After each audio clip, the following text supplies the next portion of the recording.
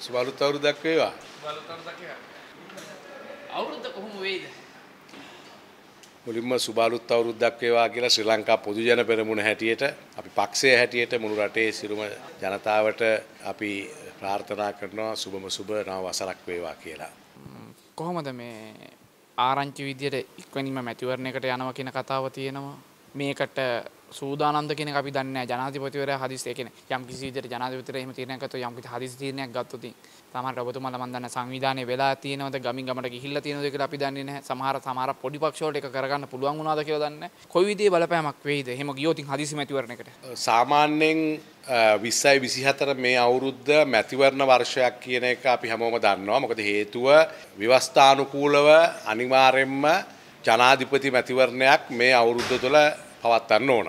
ඒ වගේම නව ජනාධිපතිවරයෙක්ව රටේ ජනතාවගේ චන්ත බලයෙන් පත් කරගන්න ඕනේ. ඒක පැහැදිලි. හැබැයි ශ්‍රී ලංකා පොදු ජන පෙරමුණ පක්ෂය හැටියට අපි ඒ පණිවිඩය රපේ පාක්ෂිකයන්ට අපේ පක්ෂයේ ශක්තිමත් කරන අපේ හැම පාක්ෂිකයෙක් වෙනුවෙන්ම ඒ නිසා තමයි අපි 2023 දෙසැම්බර් මාසේ 15 වෙනිදා සුගතදාස ක්‍රීඩාගාරයේදී දැවැන්ත සම්මේලනයක් මුළු රටෙන්ම දෙවුන්දර තුළදම් පේදුරු තුඩු වෙනකම් පාක්ෂිකයෝ ගෙන්ඩලා දැවන්ත සම්මේලනයක් අපි තිවේ. එනිසා අපි මොන මැතිවරණයාවත් ශ්‍රී ලංකා පොදු ජන පෙරමුණ අපි ලෑස්ති ඒ මැතිවරණට මූුණ දෙන්න මැතිවරණය අපිට ජනාධිපතිවරණයක් වන්න පුළුවන් පාලිමේන්තු මැතිවරණයක් වන්න පුළුවන් පලාත් පාල මැතිවරණක් වන්න පලා සභා චන්දයක් වන්න ඕන චන්දයක්කවත් අපි ලෑස්තිේ චන්දර මුණදේ.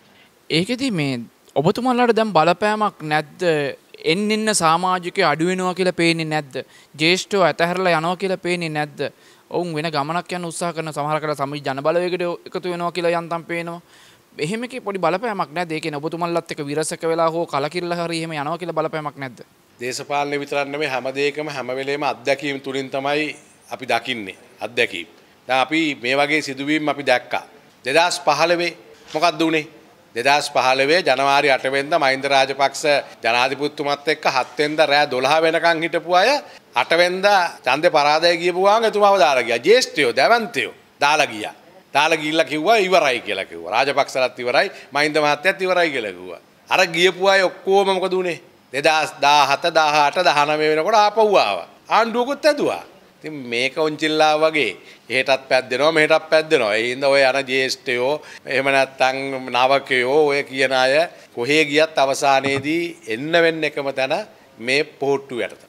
දැන් ඔබතුමල්ලාගේ හිතපු කණ්ඩායමක් වෙච්ච අර ජාතික නිදහස් ජාතික සභාවට එකතු වුණානේ ජීඑල් පීරිස් හැමතුමා මන්ත්‍රීතුමායි ඩල සලහ පෙරුම මන්ත්‍රීතුමා ඇතුළු කණ්ඩායම දැන් අපි දකිනවා ඊයේ පෙරේදා සජිබෙත් ගිහිල්ලා වාඩි වෙන ඔබතුමන්ලාගේ හිටපු සභාපතිවරයා අපිට දැන් මේ යන විදිහට අපිට ඔබතුමන්ලාගේ සභාපතිවරයා ෂුවර් නැහැ කියලා සභාපති ඉන්න සභාපතිවරයා කියලා සජිබ වාඩිද කියන තැනටත් අපිට හිතන්න වෙනවා. ඒ කියන වෙන දේවල් දැක්කම මොකක්ද ඇත්තටම මේ? නෑ එහෙම දෙයක් වෙන එකක් නෑ. නමුත් අපි පක්ෂයක් හැටියට අපේ ජාතික සම්මේලනයේදීත් අපි මේ බොහොම වගකීමකින් කියන දෙයක් තමයි අපෙන් ඈත් වෙලා ගියේ ඉන්න අපේ ජේෂ්ඨ නායකයෝ ඉන්නවා නම් අපි ආරාධනා කරනවා නැවත එන්න.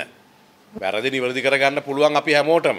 ඒ නිසා අපි හිතනවා හුඟක් අය නැවත ගියාය මොකද මේ ජනාධිපති මැතිවරණයක් රටේ තීරණාත්මක මැතිවරණයකදී කොයි කඳවුරේද ඉන්න වෙන්නේ. කඳවුරු දෙකක්නේ අවසානයේ. ඒතර මේ කඳවුරේ ඉන්න පුළුවන් කියන කඳවුරේ අය නැවත ඒක රාශි වෙමින් වැඩ කරන්න පුළුවන්. ඒකයි අපි කිව්වේ අපි මොන ඡන්දයාවත් අපි ලෑස්ති කියන්නේ. නෑ මම එතෙන්දි මේ එතෙන්දි මම කිව්වේ මෙහෙම මේ මේ අර දැන් ජීඑල් පීරිස් මහත්තයා අතන ගිහිල්ලා වාඩි වුණාම පොඩ්ඩක් ඔබතුමාලාට හිතෙන්නේ නැද්ද පොඩි නිකන් සාමාන්‍ය ජීඑල් පීරිස් මැත්තුමා අපේ හිටපු සභාපතිතුමා හිටපු අමාත්‍යවරයෙක් මං ගරු කරන කෙනෙක්. ඒ වගේම මං එතුමාව දන්නේ මේ මගේ පාර්ලිමේන්තු ජීවිතයේ මේ අවුරුදු 20 ගානට මම එතුමාව දන්නවා. එතුමා මේ පක්ෂ ගානක හිටියා. එතුමා මේ ශ්‍රී ලංකා නිදහස් පක්ෂය, එක්සත් ජාතික පක්ෂය, ඊට පස්සේ ශ්‍රී ලංකා පොදු ජන පෙරමුණ දැන් හදාගත්තුගේ මම නම දන්නේ හෙලිකොප්ටරේ කියලා දන්නවා.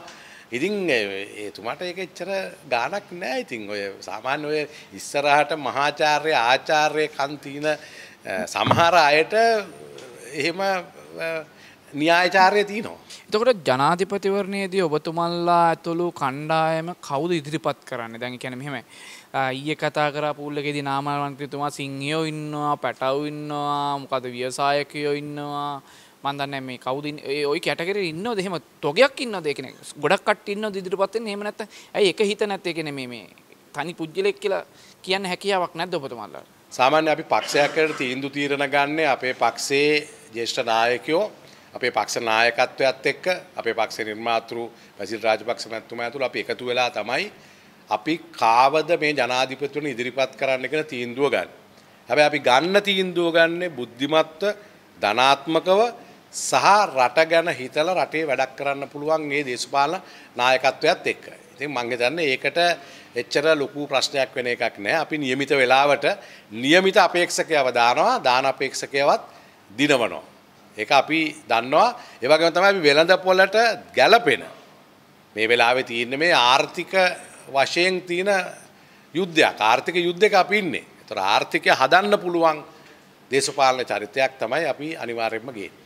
මන්දන මේ ඇත්තම කතාව බැලුවතින් ඔහොම කලකිරල යන එකයක හම්බන්ධ පොඩි රිස්ක එකක් තියෙනන කොහොම වුණ එකන සමහර කරට ඉන්න ප්‍රධානීන්ටත් ඔක කොන්ට්‍රෝ කරගන්න බෑ.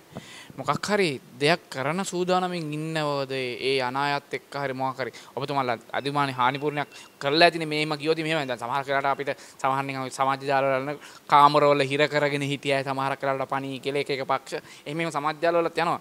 එහෙම මොනහරි ඔප්ෂන් තිය දෝගොල්ල ගව? මොහරිහෙම තෝරා බේරාගත්ත. සාමාන්‍යති කලකිරලා යන සමහරයව අපිට නවත්තන්නත් පුළුවන්කමක් ලැබෙන්නේ නෑ.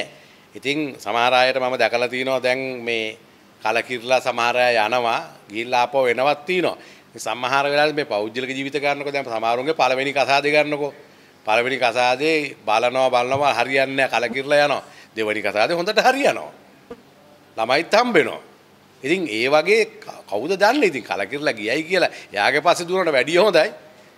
අර තව අපේ ඉන්න තව අලුතෙන් මිනිසුන්ට එක්කව කරගන්න එක. එන්න බය වෙන්න එපා.